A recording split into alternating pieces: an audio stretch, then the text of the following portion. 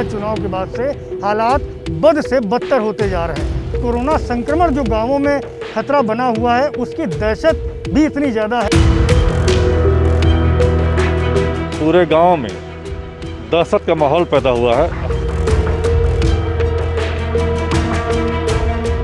Corona के कहर से हिंदुस्तान के गांव-गांव कैसे कराह उठे हैं इसकी जीती जागती मिसाल बिहार के रोहतास ज़िले के सुदूर गाँव से आई है।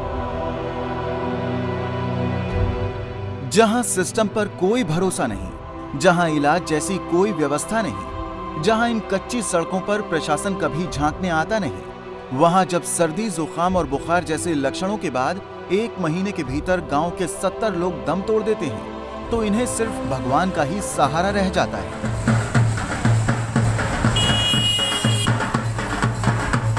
आप लोग गाँव में हर कीर्तन करा रहे हैं। जी जी। क्यों करा रहे हैं? क्या प्रसाद के लिए। गाँव में इतना लोगों का मौत हो जाना क्या समझ रहे हैं? और शांति हो गया है पूरा। भगवान पर भरोसा रह गया है। प्रशासन से कोई मदद है है नहीं। डॉक्टर लोग आ ही नहीं रहा है। तो भगवान ही भरोसा रहा हो काली माँ के मंदिर में गूंजती घंटी की आवाज़ और जयकारे सुनकर लगता है कि सब कुछ ठीक है। लेकिन सच्चाई ये है कि रोहतास ज़िले में पाँच हज़ार की आबादी वाले दरिहट गाँव के लोग दहशत के मारे मंदिर के दरवाजे तक पहुँच रहे हैं।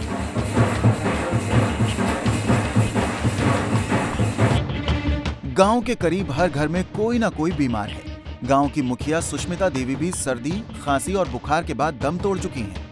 मरने वालों का आंकड़ा बढ़ता जा रहा है, लेकिन बिहार प्रशासन ने गाँव वालों की सुध नहीं ली तो ग्रामीणों ने अब पूजा पाठ और कीर्तन शुरू कर दिया है। ये मानते हुए कि गाँव पर आया दैवीय प्रकोप खत्म हो जाए। एबीपी न्यूज़ की टीम गाँव पहुँची तो यहाँ मंदिर में भीड़ दिखी, लेकिन स्वास्थ्य केंद्र के दरवाजे पर ताला लटका हुआ दिखाई दिया। गाँव के रहने वाले अशोक सिंह से जब हमने टेस्टिंग और इलाज को लेकर सवाल पूछने शुरू किए तो पता चला कि ग्रामीणों का उस व्यवस्था पर से ही भरोसा उठ चुका है जिन पर गाँव वालों के इलाज की ज़िम्मेदारी है। स्वास्थ्य विभाग की टीम आई थी कि नहीं आपके गाँव में कोरोना का टेस्ट करने के लिए? जी नहीं एक बार भी नहीं आई है।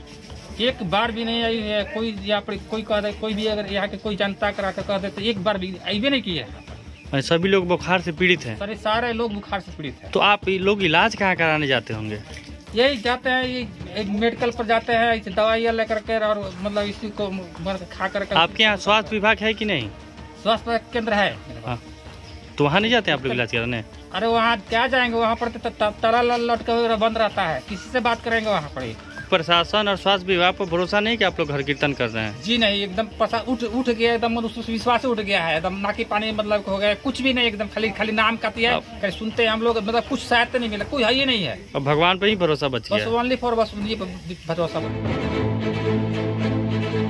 रोहतास के दरिहट गाँव में एक के बाद एक होती मौत के बाद भी स्वास्थ्य विभाग की टीम यहाँ झांकने नहीं आई है। मरने वालों में 35 और 40 साल जैसे युवा शामिल हैं। क्या कोरोना का टेस्ट नहीं होता आपके गाँव में? टेस्ट वेस्ट कहाँ हो रहा है? ना टेस्ट हो रहा है ना छिड़काव हो रहा है कुछ नहीं हो रहा है। प्रशासनिक मदद भी नहीं है मास्क सैनिटाइजर मास्क सब सरकार दे रही है पता नहीं सब खा जा रहा है सब। अब तक आपके गाँव में कितने लोगों की मौत हो चुकी है? अस्सी नब्बे लोग लमसम में हैं। अस्सी नब्बे लोग हैं। ताज़ा में जाके जाके देखिए अभी स्वास्थ्य विभाग में जाकर देखिए आप। ताला बंद रहता है वहाँ। कोई ये भी नहीं करता है किसी को जाकर दिए। ताला से बात करेंगे आप। 21वीं सदी के ऐसे हिंदुस्तान की कल्पना तो किसी ने नहीं की थी जहाँ गाँव वाले जानते हैं कि मौत के पीछे कोरोना हो सकता है। लेकिन कहाँ जाएँ, किससे कहें किसको बुलाएँ और किससे मदद मांगें? क्या प्रशासन और स्वास्थ्य विभाग का भरोसा उठ गया है? हाँ ये लोग पर उठ गया है ये लोग प्रशासन और स्वास्थ्य विभाग से भरोसा उठ गया है अभी तक प्रशासन और स्वास्थ्य विभाग की टीम आपके गाँव में आई है कि नहीं? नहीं आई है नहीं आई है। जाँच वाच हुआ है कि नहीं नहीं कोरोना का? नहीं जाँच नहीं हुआ तो अभी कोरोना से इतने लोगों की मृत्यु हो गई। जी कोई टेस्ट वगैरह नहीं है।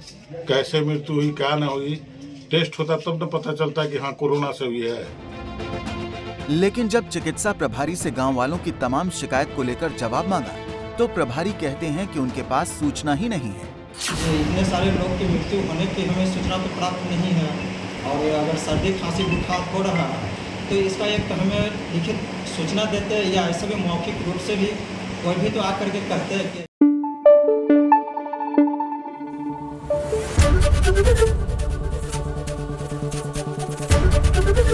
एबीपी न्यूज़ आपको रखे आगे।